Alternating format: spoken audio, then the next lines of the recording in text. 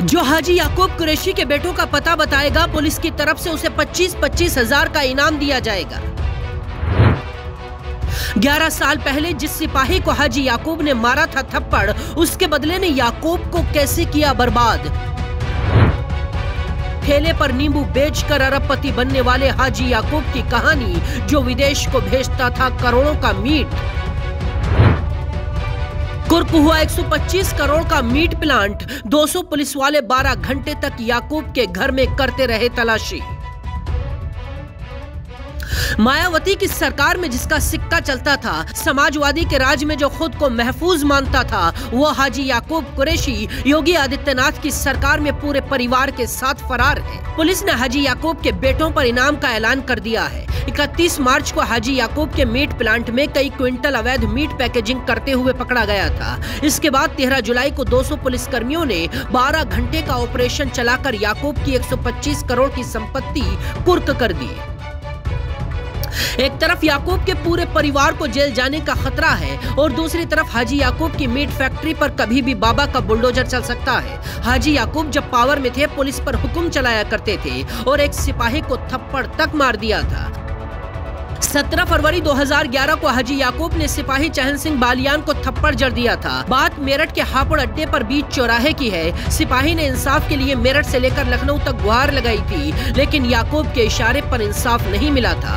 अब जब मेरठ पुलिस ने याकूब के घर को कुर्क किया तो पुलिस बेड के गद्दे से लेकर गैस सिलेंडर भी कुर्क कर ले आई। अब उसी सिपाही चहन सिंह ने कहा है, अभी तो मकान कुर्क हुआ है, जल्द ही याकूब जेल की सलाखों में मिलेगा।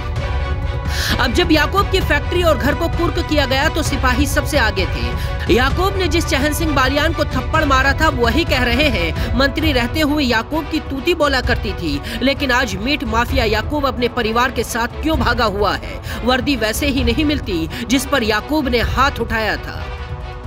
याकूब ने दौलत और शोहरत का जो साम्राज्य खड़ा किया, उसकी शुरुआत 1980 के दशक में हुई थी। मेरठ के रहने वाले याकूब कुरेशी के परिवार की कोटला बाज़ार में गुड़ बेचने की पुरानी दुकान थी। याकूब उसी पर काम किया करता था और चाट मसाला भी बेचा करता था। साल उन्नीस सौ सतासी में याकूब ने ठेले पर नींबू बेचने का काम शुरू किया। इसके बाद उसने नगर निगम के पुराने कमेले में जाना शुरू कर दिया। यहीं से पशु कटान के कारोबार में शामिल हुआ और इसके बाद तो याकूब की किस्मत जैसे बदल सी गई। दिन में दस हज़ार ज़्यादा पशु कमेले में काटे जाने लगे। लगे। इन पशुओं की हड्डियों के ठेके भी याकूब ने ले लिए। हड्डी गलाकर दूसरे कारोबार में विदेश तक भेजी जाने लगी। नगर निगम का कमेले से मीट कारोबार बढ़ता चला गया। 1990 से लेकर 2013 तक कमेले का ठेका समय समय पर याकूब के हाथ आता रहा।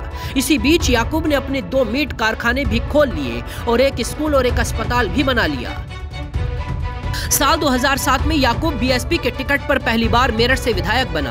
पूर्ण बहुमत वाली बीएसपी की सरकार में याकूब को मंत्री बनाया गया। बसपा सरकार में याकूब का कारोबार बढ़ता चला गया। 2014 में याकूब ने मुरादाबाद सीट पर बीएसपी से लोकसभा का चुनाव लड़ा और हार गया। साल 2019 में मेरठ में लोकसभा का चुनाव लड़ा, लेकिन याकूब को इस चुनाव में भी हार मिली। याकूब की पत्नी संजीदा बेगम मेयर का चुनाव लड़ चुकी हैं और बेटा सरधना सीट से 2017 का विधानसभा चुनाव हार चुका है।